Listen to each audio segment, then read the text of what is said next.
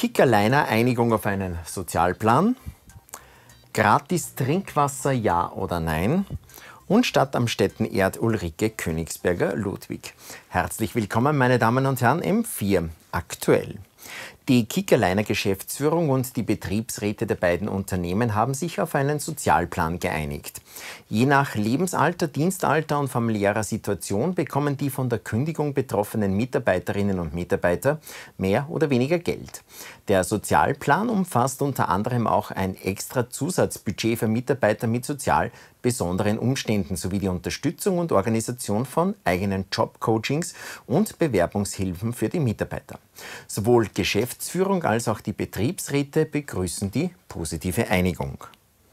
Dass für Leitungswasser in den meisten Gastronomiebetrieben mittlerweile Geld verlangt wird, das argumentieren die Gastwirte mit der Dienstleistung, die ebenfalls bezahlt werden müsse.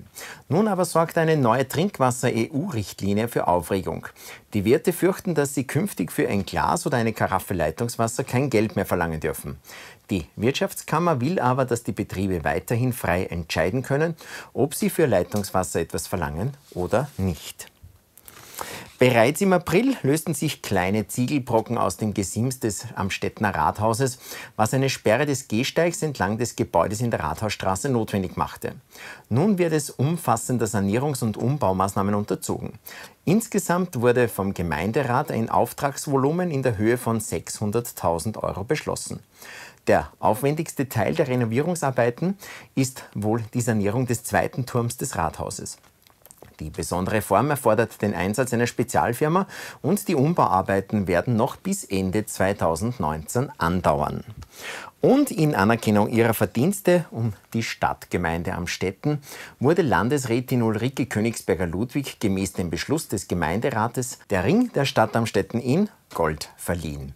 Über 18 Jahre lang prägte sie als Stadträtin für Kultur und Tourismus das kulturelle Leben in Amstetten und war Wegbereiterin für viele neue Veranstaltungsformate, wie etwa die Frauenkulturwoche Ars Femina, die Amstettener Höflichkeiten F13-Veranstaltungen, das Ton Heiter Festival oder die Initiative Bunte Frauen. Wir gratulieren herzlich. Meine Damen und Herren, das waren sie auch schon wieder die Informationen von M4 aktuell. Ich wünsche noch weiter gute Unterhaltung mit dem Programm von M4 TV, Ihrem Mostviertel Fernsehen.